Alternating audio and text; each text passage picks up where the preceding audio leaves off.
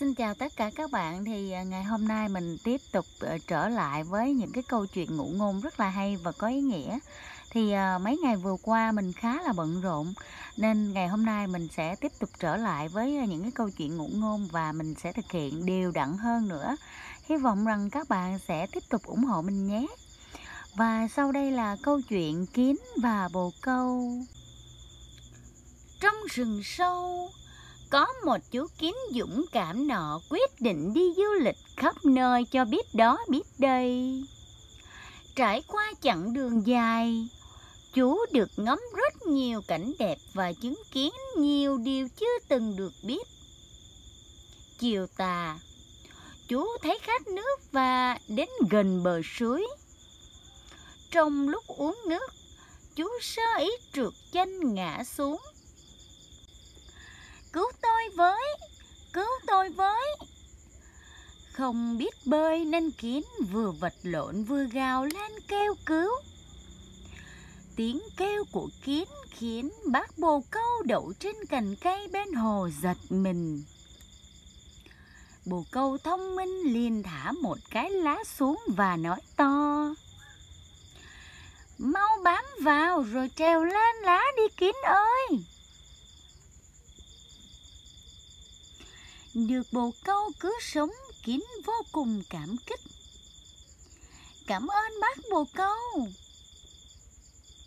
Sau này cháu sẽ báo đáp ơn cứu mạng này.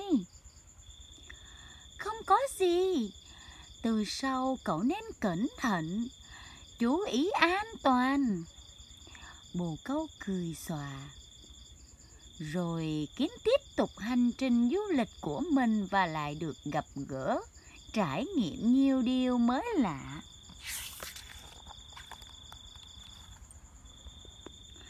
một hôm, trên đường về kiến tạt qua chỗ bồ câu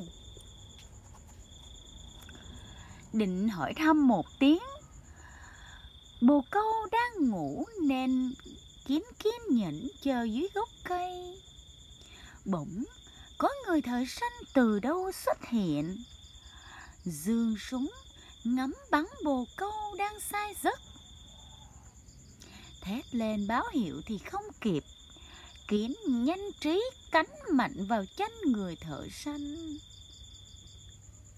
Thấy đào nhói dưới chân, người thợ săn trao đảo nghiêng người bắn trượt Kiến liền nhân cơ hội hét to Bác bồ câu ơi. Mau trốn đi. Bồ câu nghe vậy, sải cánh bay thật xa. Đợi người thợ săn đi rồi Bồ câu mới dám quay lại. Cảm ơn cháu đã cứu mạng ta. Nhờ có sự dũng cảm và mưu trí của cháu Mà ta mới giữ được mạng già này. Thế là cháu đã báo đáp được công ơn cứu mạng của bác. Kiến vui mừng không kém. Và câu chuyện tiếp theo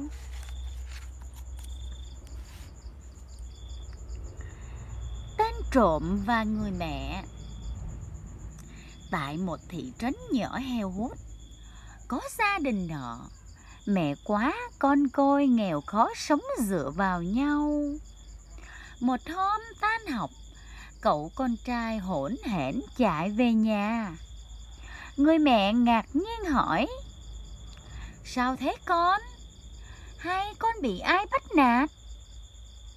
Cậu con trai cúi gầm mặt Không dám nhìn vào mắt mẹ ấp úng đáp Mẹ, mẹ ơi con con thấy bạn cùng bàn có cái bản tập viết đẹp. Đẹp quá. Nên con con lén đút vào cặp mang về.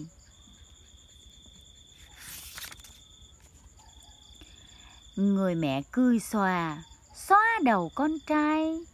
Đưa mẹ xem nào. Cậu con trai lôi bản từ trong cặp sách ra đưa cho mẹ. Bà liền ôm thằng bé vào lòng khen ngợi. Con mẹ giỏi quá. Từ giờ con có thêm chiếc, chiếc bảng tập viết đẹp tuyệt vời. Mẹ, không mánh con sao? Con ăn trộm của bạn mà. Sao mẹ lại phải mắng con? Chiếc bảng đẹp thế này, còn cứ giữ lấy. Nói rồi, bà lôi cậu bé đi ăn. Một tuần sau, cậu con trai lại mang về cho người mẹ một chiếc váy đẹp. Bà ướm thử thấy vừa như in và không tiếc lời khen con. Ngày tháng trôi qua, cậu bé lớn khôn dần và trở thành một tên trộm lanh nghề. Không từ bất cứ việc xấu xa nào. Cuộc sống của hai mẹ con cứ thế diễn ra cho đến một ngày cậu con trai bị xử tử hình vì tội cướp hàng vàng. Bị áp giải đến pháp trường, cậu xin được gặp mẹ lần cuối trước khi bị hành hình. Ôi con trai! Người mẹ vật vã khóc lóc bước đến. Nào ngờ cậu con trai nhào người lên. Cánh tay bà mẹ rất đau. Người mẹ đau đớn. Là lỗi. Mắng hắn là đứa con bất hiếu. Thì hắn căm giận gần từng tiếng. Ngày ấy, khi tôi ăn trộm cái bản tập viết, nếu bà đánh mắng, khuyên bảo tôi sửa lỗi, thì liệu tôi có rơi vào cảnh ngộ như ngày hôm nay không? Các câu chuyện của mình đến đây đã kết thúc rồi. À, hy vọng rằng các bạn sẽ thích và chia sẻ cho nhiều người cùng xem nhé. Xin chào!